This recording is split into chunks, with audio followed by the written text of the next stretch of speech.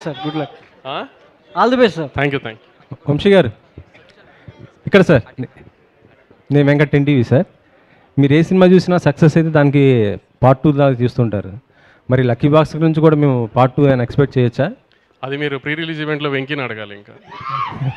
అంటే as a ప్రొడ్యూసర్గా మీరు మొత్తం అవుట్పుట్ మీరు చూస్తారు. అవును. ఆ అవుట్పుట్ చూసే మీరు ఒక- ఒక క్లారిటీ కూడా వచ్చేస్తుంటారు కదా.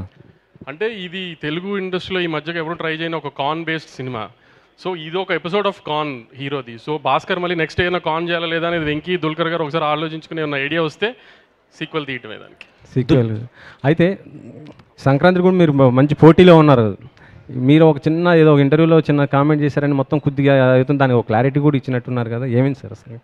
ఆహా నెంబర్ ఆఫ్ ఫిల్మ్స్ ఎక్కువ వస్తున్నాయి కదా అని అడిగితే ఈసారి అని నెంబర్ ఆఫ్ ఫిల్మ్స్ రావట్లేదు అని నేను చెప్తే దాన్ని ఒక హీరో గారి సినిమాకి కనెక్ట్ చేసి ఫ్యాన్స్ కొంచెం హంగామా చేశారు. అది కాదు అని మొన్న క్లారిఫికేషన్ ఇచ్చాను మొత్తానికైతే అంటే మీ రెండు సినిమాల ద్వారా ఇంకో అంటే వెంకీ గారు కొద్దిగా ఇబ్బంది పడే అవకాశం ఏమైనా ఉంటుందా? లేకపోతే మూడు రిలీజ్గా ఉంటుందా సార్? సంక్రాంతికి ఎప్పుడు మూడు సినిమాలకి స్పేస్ ఉంటుందండి. ఎవరు ఏమి ఇబ్బంది పడకుండా అన్ని మూడు బ్లాక్ బస్టర్స్ అవుతాయి. ఏమి టెన్షన్ లేదు. మీరు ఆ డేట్ ఏమైనా ఫిక్స్ చేసుకున్నారా సార్ మీ దానికి? ఇంకా లేదండి ఫైనల్. లేదు.